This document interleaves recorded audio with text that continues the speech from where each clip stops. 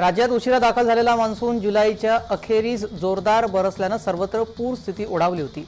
पण आता दोन दिवस पावसाचा जोर ओसरल्याचं पाहायला मिळत आहे अशातच आता हवामान खात्याकडून पुढच्या काही दिवसात राज्याला पुन्हा एकदा पावसाचा इशारा देण्यात आलाय.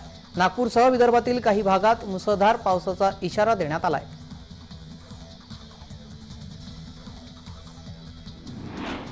धुळ्यातील लाटीपाडा धरण भरलं असून सांडव्यावरून पाणी ओसंडून वाहत आहे. गेल्या आठ दिवसांपासून सतत संततधार पावसामुळे साक्री तालुक्यातील जामखेली धरणापाठोपाठ आता लाटीपाडा धरण सुद्धा शंभर टक्के भरलं आहे त्यामुळे साक्री तालुक्यातील पाण्याचा प्रश्न आता सुटणार असून पावसामुळे पिकांना जीवनदान मिळाले या धरणाच्या सांडव्यातून सांडव्यावरून पाणी वाहू लागल्यानं संपूर्ण साक्री तालुक्यात आनंदाचं वातावरण आहे.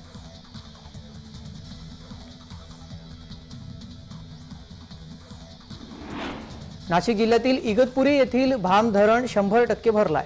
भावलीनंतर भाम धरण देखील आता शंभर टक्के भरलं असून इगतपुरी परिसरातील धरण क्षेत्रामध्ये पाऊस सुरू असल्यानं छोटे मोठे धरण सुद्धा पूर्ण भरलेले आहेत. इगतपुरी आणि त्र्यंबकेश्वर परिसरात पाऊस सुरू असला तरी मात्र जिल्ह्यातील इतर भागात अद्यापही मुसळधार पावसाची प्रतीक्षा कायम आहे.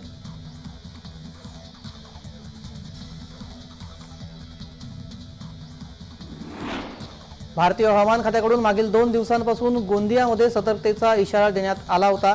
त्यामुळे जिल्ह्यात पावसाचा जोर कायम आहे. जिल्ह्यातील धरण जवळपास सत्तर टक्के भरलेले आहेत. त्यामुळे पुढील एक दोन दिवसात जर पावसाचा जोर कायम राहिला तर जिल्ह्यात पूर परिस्थिती निर्माण होऊ शकते. जिल्ह्यात एक जून ते शुक्रवारपर्यंत नैसर्गिक आपत्तीमध्ये एकूण पाच व्यक्तींचा मृत्यू झालेला आहे.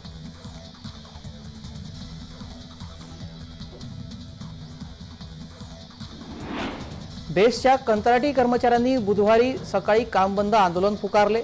पाचशेहून अधिक कंत्राटी कर्मचारी या आंदोलनात सहभागी झाले होते. शुक्रवारी तिसऱ्या दिवशी सुद्धा हे आंदोलन सुरूच आहे. अचानक पुकारलेल्या कामबंद आंदोलनामुळे मुलुंड घाटकोपर बस मार्गाचे वेळापत्रक कोलमडले असून प्रवाशांना त्याचा नाहक त्रास सहन करावा लागतोय.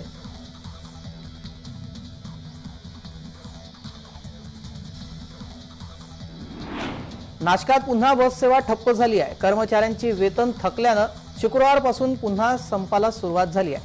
गेल्या काही महिन्यांपासून वारंवार वेतन थकत असल्यानं कर्मचारी संपावर जात आहेत. मागच्या काही दिवसांपूर्वीच संप झाल्यानंतर वेतन वेळेवर देण्याचे कंत्राटदाराने आश्वासन दिले होते. आश्वासन देऊन देखील वेतन न मिळत असल्यानं कर्मचारी पुन्हा संतप्त झाले. संप त्यांनी आता पुकारलेला आहे. बस सेवा पुन्हा विस्कळीत झाल्यानं सर्वसामान्य नागरिकांना याचा फटका बसत आहे.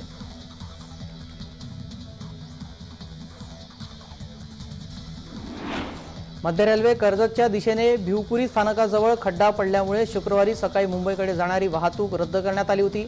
त्यानंतर साधारण तीन तासाने वाहतूक यंत्रणा सुरळीत झाली आहे.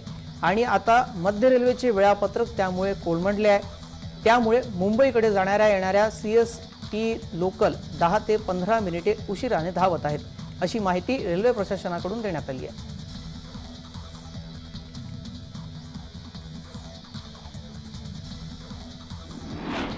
प्रसिद्ध कला दिग्दर्शक नितीन देसाईंचं पार्थिव एन डी स्टुडिओमध्ये आणण्यात आलं होतं. नितीन देसाई यांच्या पार्थिवावर शुक्रवारी दुपारी चार वाजता अंत्यसंस्कार करण्यात येणार आहेत. दुपारी चार वाजता त्यांच्या पार्थिवावर अंत्यसंस्कार केले जातील. अनेक मान्यवर यांनी त्यांचे अंतिम दर्शनसुद्धा घेतले.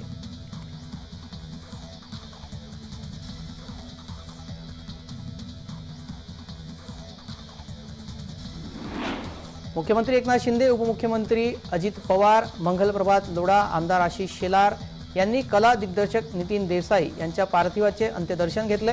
एन डी स्टुडिओकडे रवाना होण्याआधी जे जे रुग्णालयात जाऊन त्यांनी अंत्यदर्शन घेतले.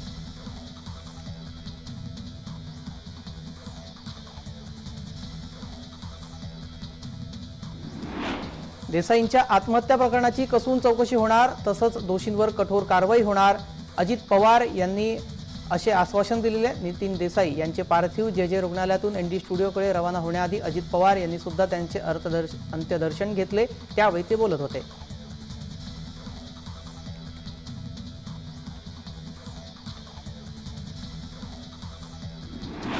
निसर्गकवी नामदेव धोंडो महानोर यांचे पार्थिव गुरुवारी रात्री त्यांच्या मूळ गावी पळासखेडा येथं आणण्यात आले. नामदेव धोंडो महानोर यांच्या पार्थिवावर शुक्रवारी सायंकाळी पाच वाजता अंत्यसंस्कार होणार आहेत.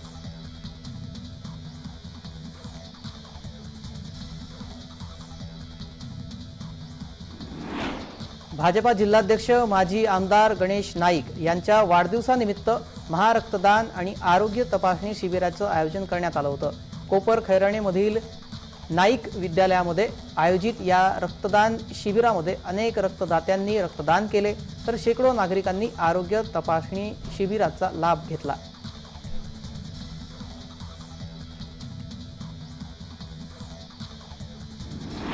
जालन्यामध्ये मोसंबी फळबागांमध्ये मोठ्या प्रमाणात फळगळ होत आहे. त्यामुळे शेतकऱ्यांचे मोठे नुकसान होत आहे. गेल्या महिनाभर परिसरात ढगाळ वातावरण असल्यानं आणि रिमझिम पाऊस होत असल्याने मगरी रोगामुळे मोसंबी डाळिंब बागांची फळे गळून पडली आहेत. महागडी औषधं फवारणी करून सुद्धा प्रादुर्भाव कमी होत नसल्यानं शेतकरी आर्थिक विवंचनेत सापडले आहेत.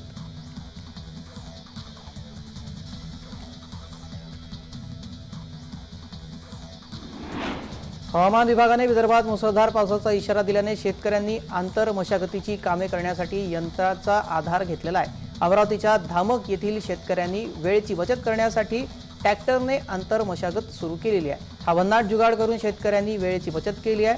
त्यामुळे खर्च कमी आणि वेळेची बचत होत आहे. शेती मशागतीची कामे देखील वेळेत पूर्ण होत आहेत.